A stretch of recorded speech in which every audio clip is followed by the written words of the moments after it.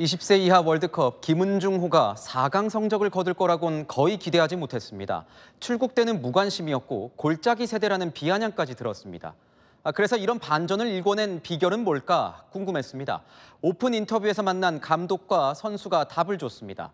스타 선수 없는 무명 대표팀이란 평가는 전혀 걸림돌이 되지 않았습니다.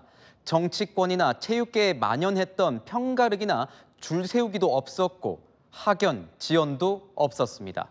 공정한 선발, 줄보다는 실력이 먼저였습니다.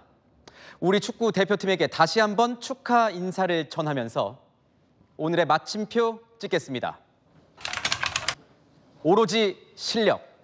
뉴스에 마칩니다. 고맙습니다.